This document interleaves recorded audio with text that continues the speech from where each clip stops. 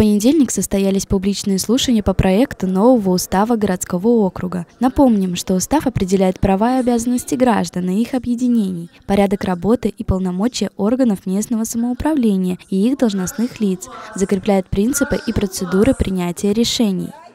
Уставы муниципального образования должны определяться наименование муниципального представленном проекте устава статья 2, перечень вопросов местного значения, это статья 8 проекта устава, формы, порядок и гарантии участия населения в решении вопросов местного значения, в том числе путем образования органов территориального общественного самоуправления, они освещены в главе 3 проекта устава, структура и порядок формирования органов местного самоуправления, статьи 29 и 36 проекта устава, Мероприятие посетили порядка 500 человек. Жители смогли высказать свои предложения по новому уставу или поддержать уже имеющийся проект. Я считаю, что преобразование нашего муниципального образования было продиктовано в том числе экономической целесообразностью. Конечно, в уставе, который мы выслушали, присутствуют все параметры, которые должны быть, быть учтены и экономически, и по количеству депутатов, и организационной составляющей. Я считаю, что устав должен быть принят, округ должен жить.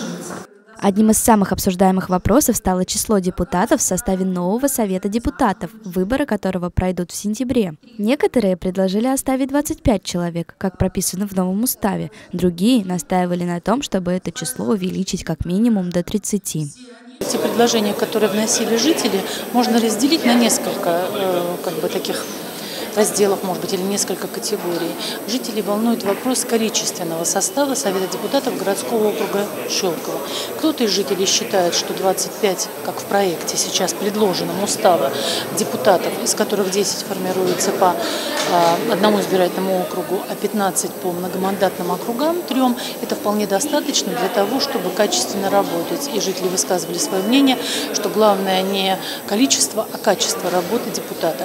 Кто-то из жителей считает, что количество депутатов можно и нужно увеличивать. Допустим, там были предложения 30 депутатов, и от каждого населенного пункта по депутату, то есть это получится в сотнях будет измеряться их количество. То есть это вопросы уже э, на желание каждого, кто активно участвовал сегодня в публичных слушаниях. До 29 апреля каждый житель городского округа может внести свои предложения об изменении и дополнении нового устава в рабочую группу. Екатерина Сусенко, Валерий Жиглей, телерадиокомпания «Щелково».